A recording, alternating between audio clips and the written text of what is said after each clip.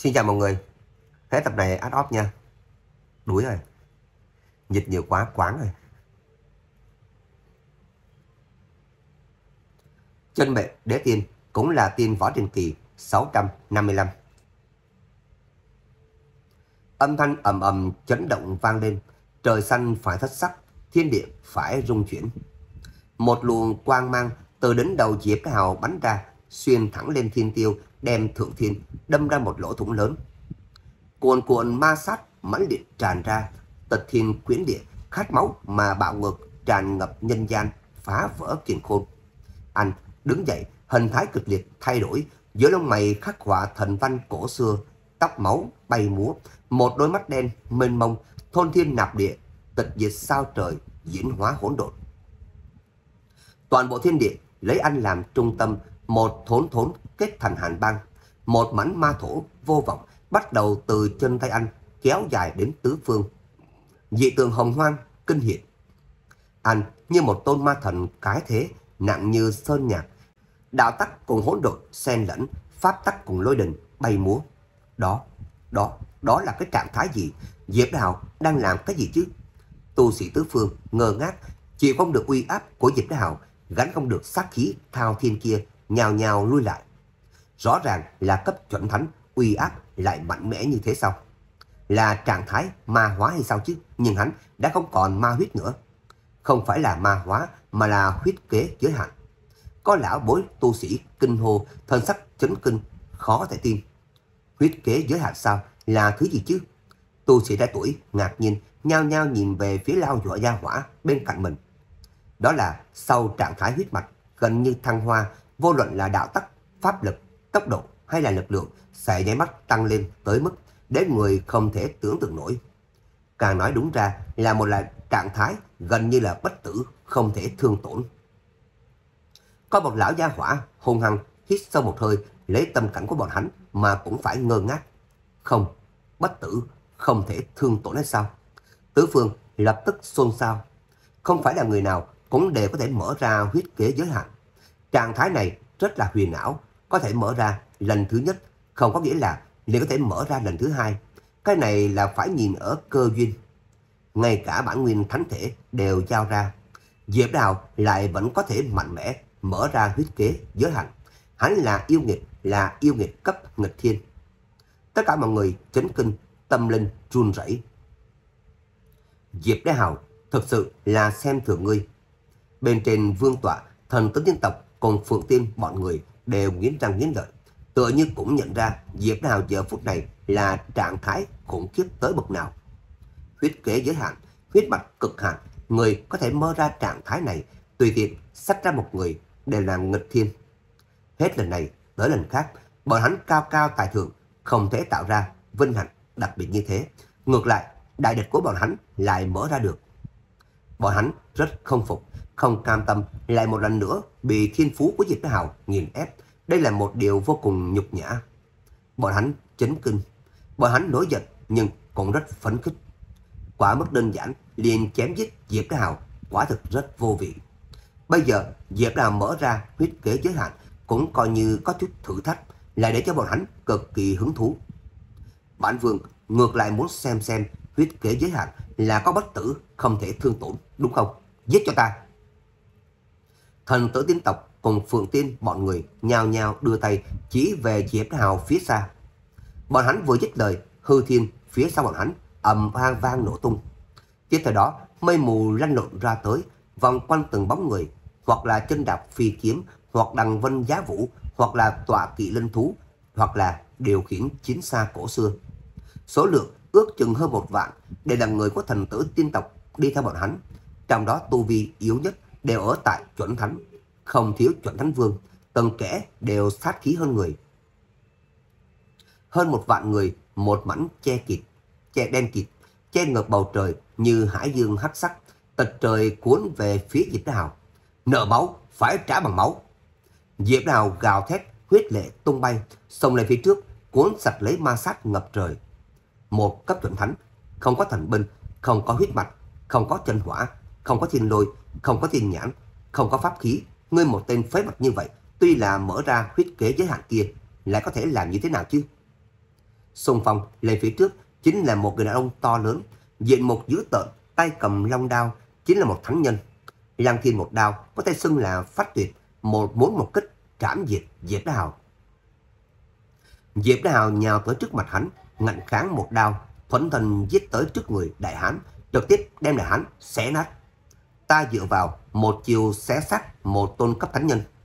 Tử vương kinh hãi nhìn mà không khỏi hít một hơi không khí lạnh. Đại hán cho dù chết, lòng đao của hắn lại bị Diệp Đào đoạt đi. Một đao quét ngang, đám người vừa vọt tới bị trảm dịch một mảng. Vô luận là thân xác hay là nguyên thần đều tịch dịch. Giết! Bóng người đen nghìn nghịt, sóng sau, xô sóng trước, hoặc là tay nắm đại ấn, hoặc là chấp trưởng pháp khí. Ai cản ta thì phải chết. Diệp Đào gào thét chấn động thương khung. Tay anh nắm long đao, dính máu, giống như một, giống như một kẻ mất trí, một đường trái chặt phải bổ, không có bất kỳ quy tắc nào. Anh không tránh, không né, không phòng ngự, phàm là người ngăn cản đều khó cản một đao đồ sát quanh, chiến lực phát tuyệt vô song. Hình ảnh máu me, một con đường máu bị Diệp Hào giết ra, sau lưng phủ kín huyết cốt, máu tươi nhuốm đầy hư thiên. Huyết kế giới hạn, bất tử, không thể thương tổn, tuy không có thần binh trợ chiến, tuy không còn bản nguyên thánh thể, nhưng cái trạng thái bá đạo này cho anh đủ tư cách một đường đồ sát. Đội hình gần một vạn người, đúng là không một người nào có thể ngăn cản con đường của anh. Lao lên một mảnh, liền bị đồ diệt hết một mảnh. Phiến thiên địa này trở nên đỏ như máu, chân cụt, tay đứt, đầu lâu thân thể, pháp khí, mảnh vỡ, đều là bay đầy trời. Cái này, đây là chuẩn thánh hay sao? Tu sĩ tứ phương, khỏe môi run rẩy, trong lòng run rẩy, sắc mặt tái nhợt, không còn huyết sắc. Một vạn người đó à? Tu vi yếu nhất đều là chuẩn thánh, không thiếu chuẩn thánh vương, đúng là ngăn không được một mình hắn. Huyết kế vừa mở ra, bất tử không thể thương tổn, lấy một địch một vạn, vạn phu khó cả nào. Âm thanh ngơ ngác tụ thành một luồng hái triều vang lên. Xuất ra sát trận, oanh diệt hắn. Bên trong âm thanh kinh hãi có tiếng gầm thét chấn động thiên địa, một tòa sát trận được hợp lực xuất ra, khôi phục thần uy tịch diệt, quét thẳng về phía Diệp Đào. Phụt! Máu tươi bắn ra tung tóe trên trời, Diệp Đào nửa thân thể đều bị oanh diệt. Thế nhưng huyết kế giới hạn là bất tử, không thể thương tổn. Sức khôi phục bá đạo, thân thể kiên tàn tạ kia của anh nhảy bách đã phục hồi như cũ. Dít! Tiếng thét của Diệp Đào như lôi đình, một đôi mắt đen gắt gao nhìn chầm chầm vương tọa bên cuối đám người. Đám người xông tới trực tiếp bị anh bỏ qua, lòng đào chém loạn, chém lung tung, huyết nhục văng tung tóe, tru sát. Bóng người đầy trời đều ra tay, hoặc là thần thông pháp khí, hoặc là sắc kiếm trận đồ, che ngợp bầu trời ép qua.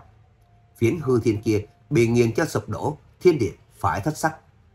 Diệp Hào không hề sợ hãi, lấy thanh ngạnh hám, lòng đào vung mạnh, đao mang dài trăm trượng chợt hiện ra, từng mảnh xương máu mãnh liệt văng ra. Anh thực sự như một tôn ma thần cái thế, tắm rửa trong máu tươi, đạp trên núi thây, chạy xuống huyết hải, đấu chiến bát hoang, giết đến thiên địa, thiên băng địa liệt, chiến khóc thôi hào. Bóng người đầy trời đều hoảng sợ, tay cầm kiếm để đang run rẩy. Anh quá mạnh, giống như sát thần đến từ trong địa ngục. Ai cản ta? Chết! Diệp Đào lại lao tới, cuốn sạch lấy ma sát ngập trời, nuốt hết từng mảnh từng mảnh thiên địa, tiếng thét nhô lê đình vạn cổ, thường thiên cũng phải rung động ầm ầm. Từng lớp từng lớp người đổ xuống, từng lớp từng lớp người hóa thành tro bụi, bị ma sát ngập trời, ép dịch. Đây là một hình ảnh máu xối, không cách nào vô pháp vô thiên hơn được nữa. Gần vạn người bị giết cho toàn quân tan rã, bị anh một người ép cho không ngừng lui lại, không người nào dám tiến lên tranh tài. Một đám phế vật. Thần tử hồn tộc hừ lại một tiếng, vọt lên trời, lao đến, vọt thẳng đến Diệp Hào, đánh giết mà đi. Chỉ thấy quanh thân hắn bỗng nhiên hiển hóa chín sợi dây xích, từng cái quanh quẩn lôi đình như những con rắn trườn ra. Đó là tỏa hồn liên, khắc đầy phù văn nhằm vào chính là nguyên thần. Một khi bị nó khóa chặt thì chân thân liền bị phong cấm. Rầm rầm rầm. Tiếng sắt sắt va chạm vang lên. Thần tử hồn tộc xuất chiêu. Chiến đầu tỏa hồn liên cùng nhau xuất ra bắn về phía Diệp Hào. Mắt thấy là thần tử hồn tộc Diệp Hào một đao bổ ra một con đường máu vọt thẳng đến thần tử hồn tộc kia đánh tới. tỏa hồn liên bị nghiền nát ngay tại chỗ, bị ma khí nuốt chửng. Thần tử hồn tộc bị phản phệ, đạp chân, lui lại một bước. Tiếp theo chính là một ngụm máu tươi cuồn phún phun ra. Trấn áp cho bản vương. Thần tử hồn tộc gầm thét, giữa lông mày bắn ra một vệt ánh sáng, chính là một tôn pháp khí. Cẩn thận, nhìn kỹ một chút, chính là một chiếc đỉnh. Càng nói cho đúng ra là hỗn độn thần đỉnh của Diệp Thái Hào, Lăng Thiên đè xuống. Khôi hài chính là hỗn độn thần đỉnh mới bay đến một nửa liền quay ngược trở về ép tới thần tử hồn tộc phải lão đảo. Người tứ phương nhìn mà muốn phá lên cười, dùng đỉnh của Diệp Thái Hào đi trấn áp Diệp Thái Hào. Người đó nha, đầu óc có phải là nước vào hay không thế? Thần tử hồn tộc học máu, tổn thương không hề nhẹ. Hắn đầu óc không phải là nước vào mà về, mà là bị lừa đá. Hỗn độn thần đỉnh còn chưa được luyện hóa, hắn liền tìm đường chết cầm đi trấn áp Diệp Thái Hào. Đây chính là chủ nhân của hỗn độn thần đỉnh đó. Lần này ngược lại là tốt, chỉ vì một chút mất tập trung, bị ăn một cái hồi mã thương, thân thể đều bị ép tới nứt toát. Diệp Đào giết tới, một chưởng phủ xuống, nặng như sơn nhạc. Thần tử hồn tộc quỳ ngay tại chỗ, còn chưa ổn định thân hình, thần sắc cường đại, liền bị ép thành một vũng máu thịt. Cứu ta! Nguyên thần của thần tử hồn tộc thoát ra, không còn dám chiến đấu, chạy trốn về hướng thần tử tiên tộc bọn hắn ở bên kia. Hắn sợ, thực sự sợ, đầy mắt đều là sợ hãi. Hắn là cấp thánh nhân, đúng là trong vòng 3 chiêu, bại hoàn toàn. Buồn cười chính là đối thủ của hắn cái gì cũng không có, vén vẹn chỉ có huyết kế giới hạn, cường đại để hắn không cách nào chống lại.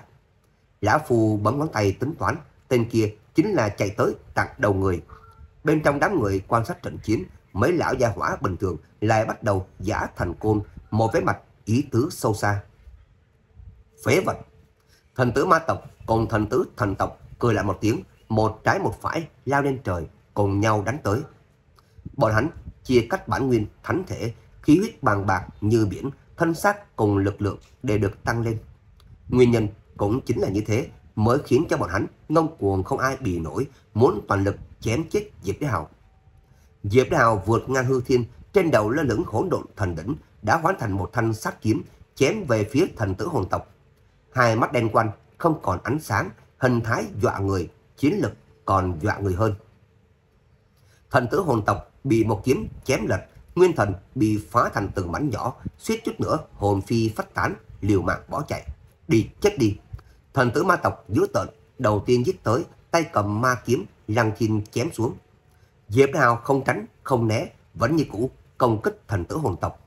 Nguyên nhân chính là anh không phòng ngự đã bị thần tử ma tộc một kiếm chém trúng từ đến đầu đến bàn chân bị chém ra một đạo huyết thác. Huyết chút, suýt chút nữa đã bị thần tử ma tộc chém dịch Máu tươi bắn ra tung tóe từ trong vết thương còn có thể thấy được huyết cốt đen nhánh quanh để các người nhìn mà tê cả da đầu. Diệp Đào ngạnh kháng một kiếm giết tới gần thần tử hồn tộc một chưởng phủ kiến chữa triệt che trời đè xuống. Thần tử hồn tộc đột ngột quay người, toàn cảnh là huyết sắc, đầy mắt điên cuồng, dưới lông mày không ngừng bắn ra thần mang. Mỗi một đạo thần mang kia đều vòng quanh một tôn pháp khí, đồng lô, sát kiếm, thần châu, bảo ấn, từng tôn từng đạo, ánh óng ánh, thoáng như tinh thần, chừng trên 100 tôn pháp khí trong cùng một lúc đánh về phía Diệp Đá Hào. Chỉ là pháp khí tuy nhiều lại khó cản một chưởng của Diệp Đá Hào. Tiếng vỡ vụn của bảo khí vang lên, mảnh vỡ linh minh rơi xuống. Thần tử hồn tộc hợp lực tụ thành một vòng bảo hộ, bị Diệp Hào một chưởng công phá, nguyên thần tại chỗ bị đánh thành trạng thái trong suốt. Diệp Hào huy động hỗn độn kiếm chém ra một giải tinh hà. Không, không, không, không, không, không. Thần tử hồn tộc hai mắt lồi ra, mặc cho hắn gào thét như thế nào, cuối cùng cũng khó thoát khỏi bị chém. Trong một cái chớp mắt này, thần tử thần tộc giết tới một mãn tôn, hai đạo thân, ba người đều tay cầm sát kiếm, diện một dữ tợn. Diệp Hào lại trúng chiêu, tuần tự bị chém trúng, ba đạo huyết thác khác ở trên thân thể anh, kém chút đã bị tháo thành tám khối. Thần tử ma tộc lại lao tới, một phương bảo ấn, lăng không phủ xuống, ép tới Diệp Hào thân hình lão đảo. Thân thể nứt toát. Còn chưa kịp ổn định lại thân hình, thần tử si mị tựa như quỷ mị giết tới, một chưởng như thần đao gỡ ra một cánh tay của Diệp Đào. Hình ảnh đẫm máu để người không đành lòng nhìn thẳng. Diệp Hào gào thét xuất ra bảo ấn, một kiếm chém đuôi thần tử ma tộc, lật tay một chưởng đập diệt hai tôn đạo thân của thần tử thần tộc. Bản tôn của thần tử thần tộc cũng bị một chưởng, một kiếm cường thế bức lui ra ngoài. Tru sát, Phượng Tiên cũng lao tới, một mặt nghe răng ra cười, từ sau lưng đánh lén, một kiếm xé toát lưng Diệp Đá Hào, kéo ra xương sống lưng, máu me của Diệp Đá Hào. Diệp Đá Hào đột ngột quay người, một chưởng vô song, chứa triện phủ kiến hỗn độn, đánh cho Phượng Tiên huyết cốt đầm đìa. Thần tướng tiên tộc lao đến, quân lâm cửu tiêu, tiên nhãn bên mắt trái, lấp lóe chi quang, huyền ảo, gia trì chiến lực cho hắn. Hắn là đầy mắt cười u tàn, lăng thiên bể nghệ, bao trùm Diệp Đá Hào. Kiếm của hắn, chói tai tranh minh, một kiếm bổ ra một giải ngân hà, thiên địa vỡ ra, trảm diệt nửa thanh sắc của Diệp Đá Hào. Diệp Hào trong nháy mắt lại trở lại đỉnh phong, chính đạo bát hoang, nghịch thiên, oanh lên trên, cho dù là thần tử tiên tộc cũng bị chấn động đến lui lại. Vì thế, anh cũng phải trả giá đắt. Lần trọng thương này, anh chính là xuất quỷ nhập thần mà thần thể cũng bị tịch diệt. Một kiếm đã chém vỡ nửa cái đầu của anh. Anh đã là huyết cốt đầm địa, đã không còn hình thái của một con người. Dù là trạng thái bất tử, không thể thương tổn, cũng theo không kịp từng đạo vết thương, tịch diệt, người bên đối phương quá mạnh. Còn chưa chịu chết hay sao? Huyết thường tử, thần tử, thần tử tán thiên cùng thiên tàn đứng lặng trên hư thiên đều phá lên cười u tàn, hợp lực thôi động kiếm phần tịch chuẩn đế, lăng không chém thẳng về phía Diệp Hào.